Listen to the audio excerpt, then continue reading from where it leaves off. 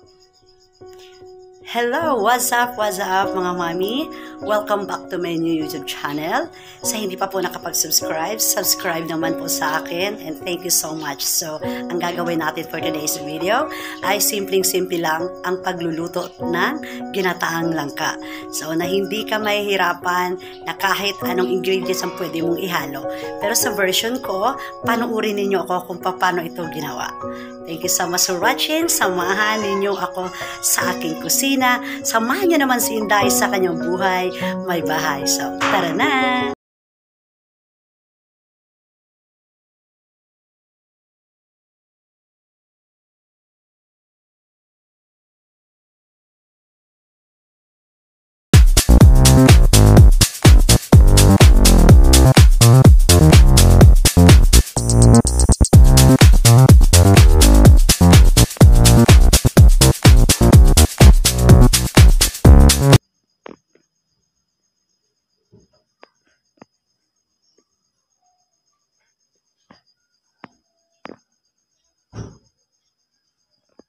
Hiwa ko na po yung ating mga ingredients.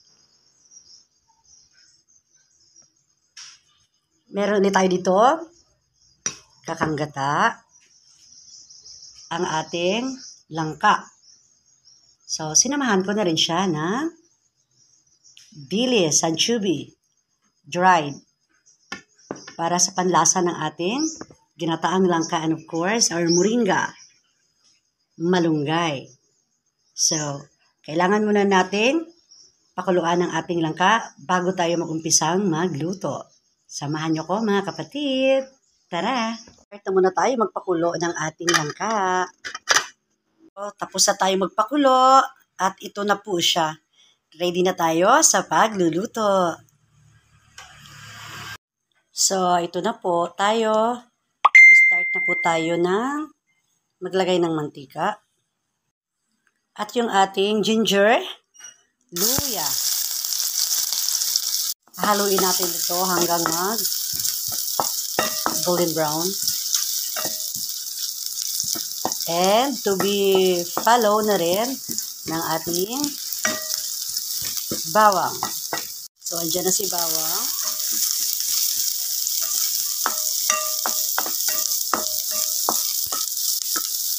And then, syempre yung ating sibuyas. Red onion. Pinaghalo ko guys yung red onion at saka yung white onion.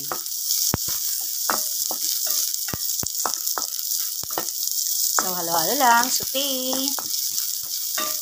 Until the onion is translucent. Okay, nagkakatas na siya. So, pag ako kasi nagigisa guys, talagang pinipiga ko siya para mag extract talaga siya ng ano patas ng ating mga hinahalong ano ingredients natin dito. And then yung ating tomato. So ako kasi guys, pag ako nag ginataang lang ka, inahaluan ko talaga siya ng kamatis. So version ko to, kaya watch nyo lang ako. Ay, sarap. I love the taste of ano, tomato, the smell of tomato, yung aroma niya.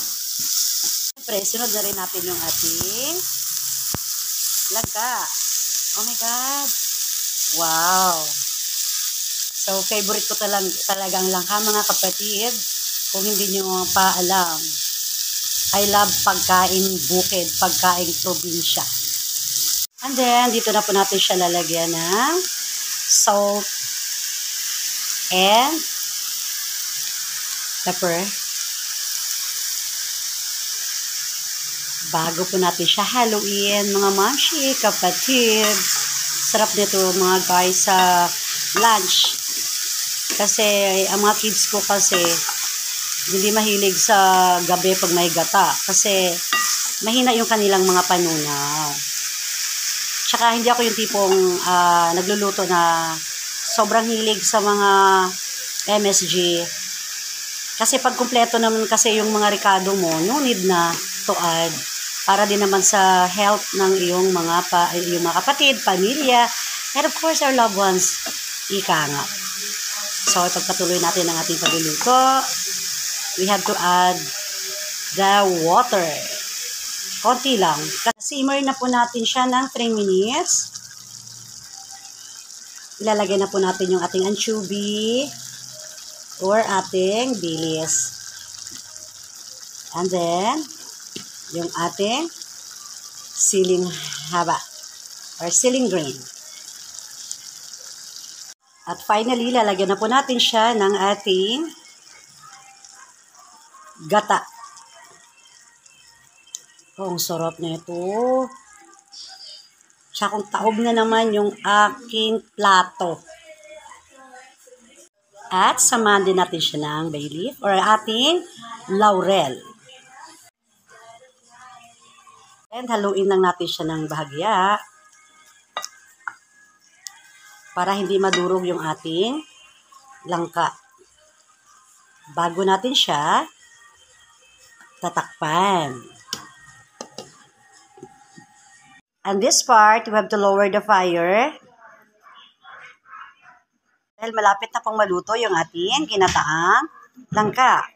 This part, pwede na natin ilagay yung ating red bell pepper.